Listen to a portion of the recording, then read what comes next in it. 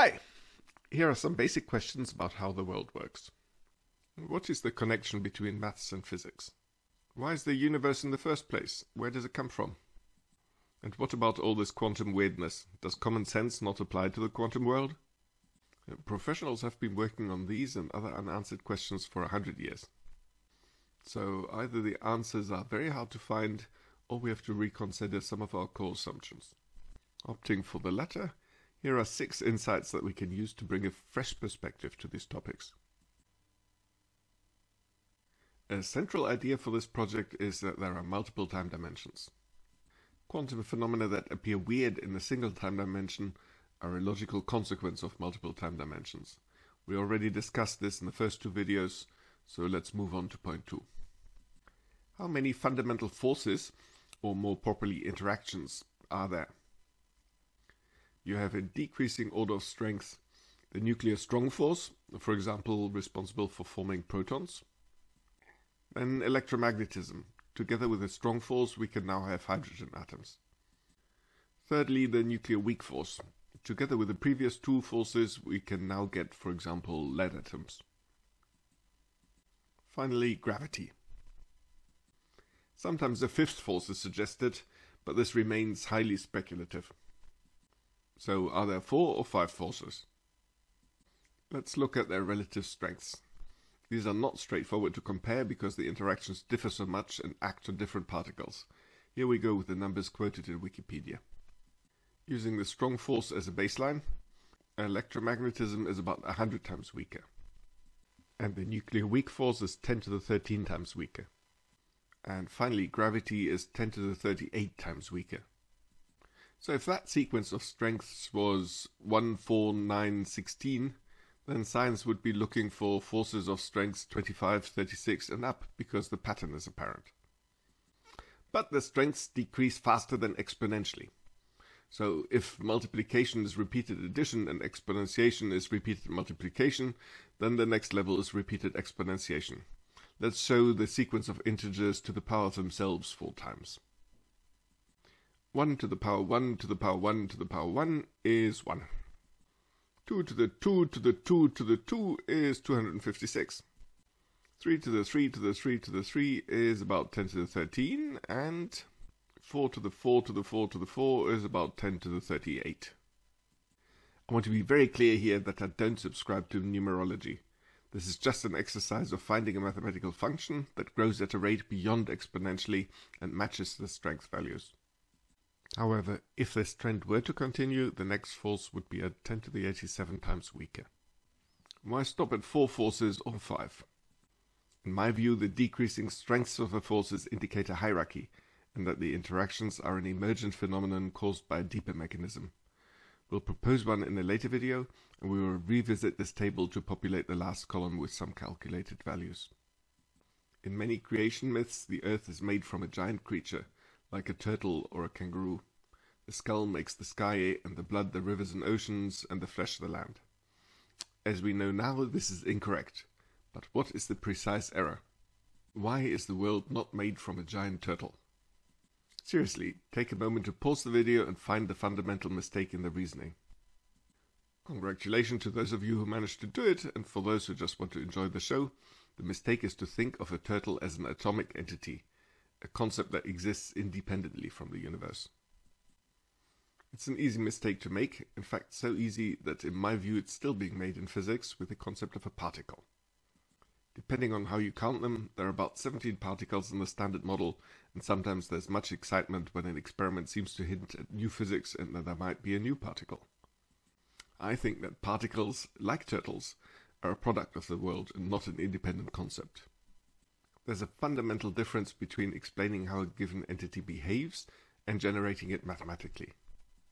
An observer studying the behavior of an apple, for example the distance it falls in a given time, may come up with a mathematical formula that describes it. This presupposes the existence of trees, apples, and gravitational acceleration amongst other things. Contrast this to an equation that defines a fractal function, for example iterating z squared plus c to make the Mandelbrot set. In this case the formula does not describe the behavior but actually generates the set. The search for a grand unified theory in physics is centered on finding a set of equations that describe all known physical phenomena. Even if you found a set of formulae that precisely relate all the particle properties, you would be no step further along the way to explaining why they behave this way. Who checks that particles obey the laws? Here is a magnification of the Mandelbrot set. Clearly there are many regularities that you could try and capture in laws. These laws would be a lot more complicated than the simple generating formula. I think that the ultimate goal of physics should be to look for a formula that generates the world rather than a set of formulae that describe its behavior. Cellular automata are systems of cells arranged in a grid that have states that are calculated from the states of their predecessors.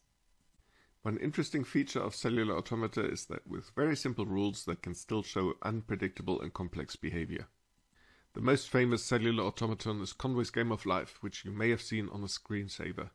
You can see replicating stable patterns that you may look at as the equivalent of particles.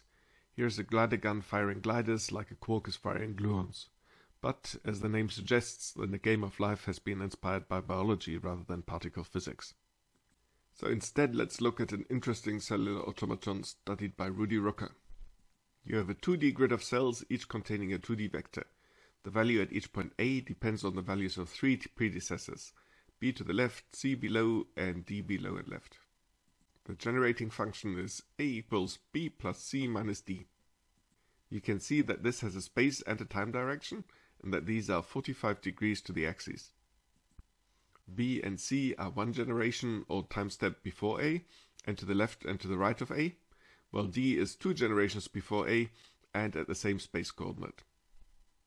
Let's rotate this 135 degrees so that time flows downwards. The top two rows contain the initial condition that is set manually. As you can see, if they're all set to zero, then all the generated vectors are also zero. Any disturbance in the initial conditions propagates at the maximum speed of one space unit per one time unit. This is commonly called the speed of light in cellular automata parlance. Here we have two patterns cross each other. This all looks reminiscent of field lines. Unfortunately, in two dimensions we cannot get a pattern to curve around back on itself like a helix. An eddy in a vector field of more than two dimensions would be a countable quantity, and therefore quantized and the field itself would behave like a wave. Looking at particles as stable pattern types seems more convincing than invoking wave-particle duality, which are mutually contradictory concepts. This is a wave, and this is a particle. Both are turtle-like concepts. Imagine another universe with another set of physical laws. It could be completely different to ours. Would the Fibonacci sequence exist in such a universe? Plato and I say, of course, because mathematics transcends physical reality. Other universes might have different concepts of space and time, and may or may not be inhabited by sentient beings, but in none of them is 5 not a prime number. You don't even need a universe for maths to exist. Sometimes concepts and terms in physics are informed by the zeitgeist.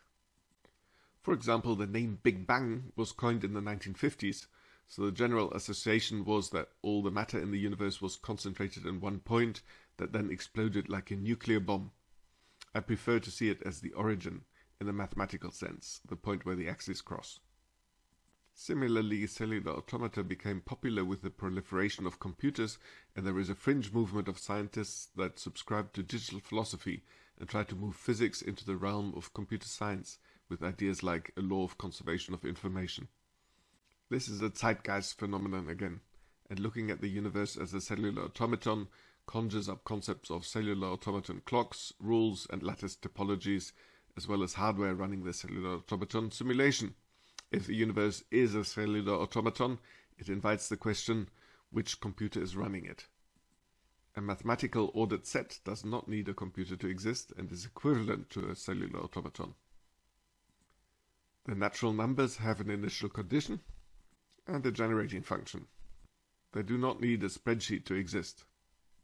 They exist in abstract maths, as does the Fibonacci sequence. As well as our Rudy Rucker cellular automaton that made the nice patterns.